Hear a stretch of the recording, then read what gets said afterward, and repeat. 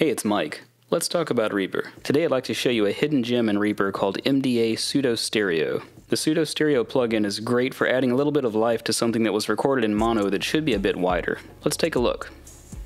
The project I've got open is a worship service that was sent to me from a church in South Africa.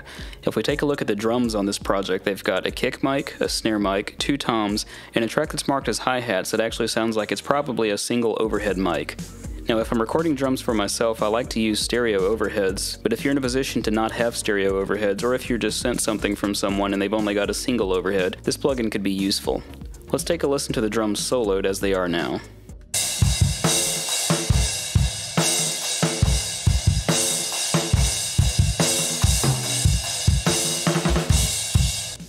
The drums don't sound bad, but there seems to be a good bit of life missing. They sound kind of sterile and, well, pretty much in the center. That's where MDA Pseudo Stereo comes in handy. I've already added it to this track, but it's currently not active. Let's open up this plugin, and we've only got a few parameters. There's the amount slider, you can move that more to the left to add the Haas effect, and more to the right to add a comb filtering effect. I don't claim to be a properly trained audio engineer, so you may want to look those terms up for yourself. Generally what I tend to do is move it one way or the other and see what it sounds like. The delay, balance, and output are mostly self-explanatory, so let's just take a listen to before and after and adjust these parameters and see what happens. I'll start off with the plugin bypassed and then I'll engage it and begin to adjust the parameters.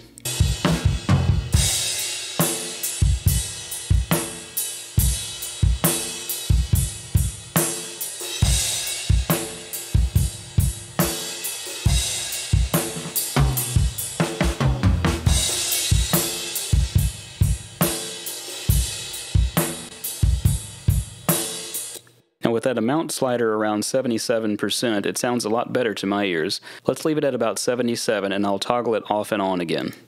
Here's before.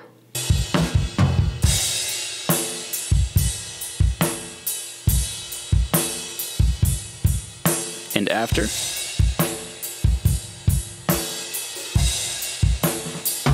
Let's take that back the opposite direction and see how it sounds.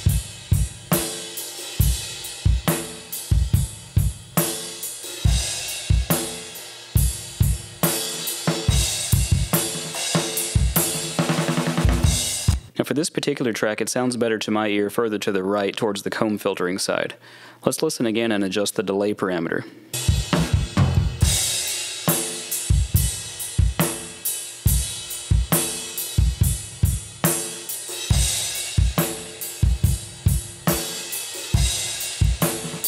If I understand correctly, the delay parameter adds a little bit of a delay between the left and right signals as it's processed into pseudo stereo. This plugin can come in really handy for bringing a mono overhead to life or possibly even making a vocal stand out a bit better.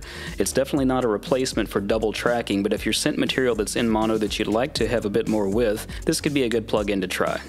I hope this helps. If you like the content you're seeing, be sure to like, share, and subscribe, and you can support the channel further by clicking the Buy Me a Coffee or the Patreon link below.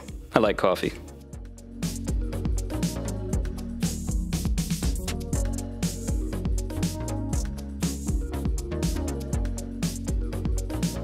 Blah, blah, blah, blah, blah. Let's talk about something. How am I going to start this?